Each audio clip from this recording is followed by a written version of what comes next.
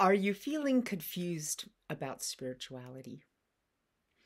If that's the case, then it's just because you're letting the part of you that doesn't need spirituality dictate your spirituality. First of all, if you're letting something outside of you dictate your your spirituality, you're never going to find it.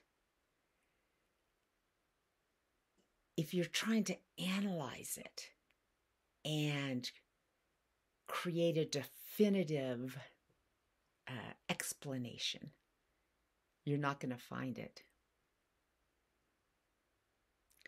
So, to me, the most useful thing to do is just to realize it's all lies.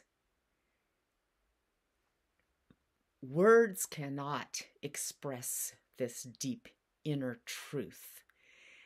And words don't need to express it. We do not need to express this humanity that we are in words.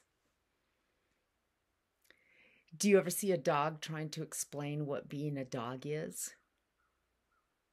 Do the birds flying through the sky worry about what is my inner bird? No, they don't. They're just part of being.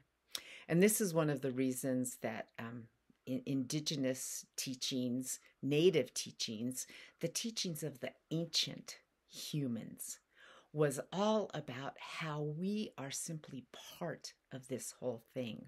We're not separate from those birds. We're not we're not above the bird. The bird, the birds are our sisters. The birds are our brothers. The coyotes, the trees. These are the things that are just naturally living in this harmony. And these are the things that teach us this harmony.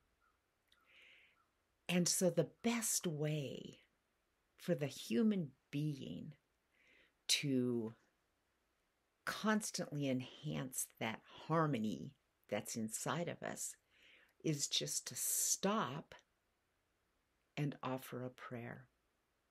Because what do we have to offer to the full of existence that has literally given us everything? If we try to offer something that is of existence itself, then what are we offering? Existence to itself. The only thing we really have to offer is a prayer. And what that does is stops and brings us down to a moment where the explanations are not necessary. This is why kirtan, dances of universal peace, these kind of things are good to do. This is why also, I mean, even just just the straight out prayers that come to us. Many of them don't make a whole lot of sense, like the Maha Mantra Hari Krishna, Hari Krishna, Krishna Krishna, Hari Hari, Hari Rama, Hari Rama, Rama Rama, Hari Hari. Give it as an offering.